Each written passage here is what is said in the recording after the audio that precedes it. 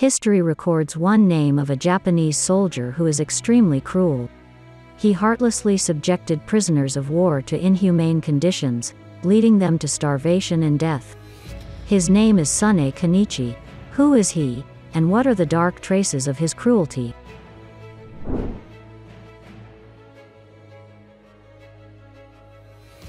When Japan occupied Indonesia and defeated the Netherlands, there were still some Dutch people left behind. They were called internees or prisoners of war and lived in concentration camps scattered in Batavia. We will focus on discussing a concentration camp located in Tjideng. In this camp, civilian women and children of various European nationalities were held as prisoners.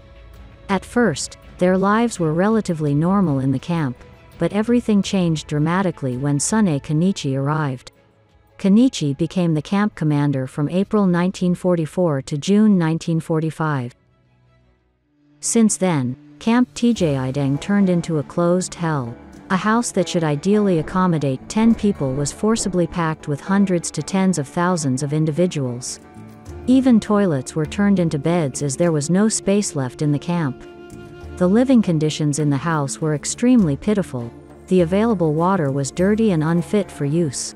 Mornings became nightmares for the prisoners. Sonei Kenichi forced them to burn under the sun for hours until noon. They were also forced to plant castor oil plants. If someone was found guilty, they would be whipped, shaved, and forced to work under the sun naked for a very long time. To make matters worse, the ration of food for the prisoners was drastically reduced. Mothers were even willing to catch animals like frogs and snails, then boil them to feed their children. Every day, there were prisoners who died due to deteriorating physical and mental health. While the prisoners were starving, Sonei Kenichi would feed his dog with meat and eggs. Sonei Kenichi's cruelty was extreme, showing no mercy even towards children and women. During full moon nights, his cruelty escalated, which is why he was often nicknamed Moonstruck. After suffering for three years, the prisoners could finally breathe a sigh of relief as the Hell of Tjideng was closed in August 1945.